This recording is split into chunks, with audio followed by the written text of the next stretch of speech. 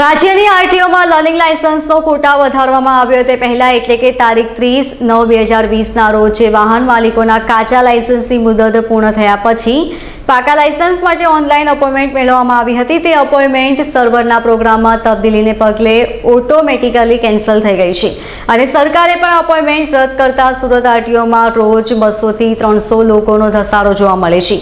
મોટાભાગના learning licence RTO માન્ય ડીલર્સના પ્રતિનિધિ દ્વારા કઢાવવામાં આવ્યા હોવાથી the Surat district motor driving training school owners એસોસિએશનને appeal કરી છે કે આવા અરજદારોને લર્નિંગ માટે આરટીઓમાં મોકલવાને બદલે તેમને ફરીથી કાચું લાયસન્સ કઢાવી લેવા સમજાવવામાં આવે છે. કારણ કે આરટીઓમાં દિવાળીની રજા હોવાને પગલે કામકાજ કરવા માટે વાહન માલિકોનો ભારે ધસારો જોવા મળે છે.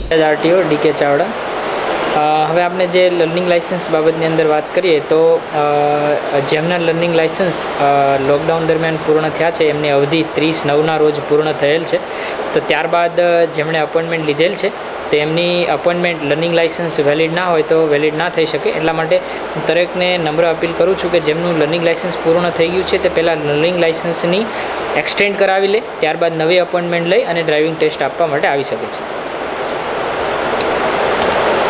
Bureau report LK star news Surat.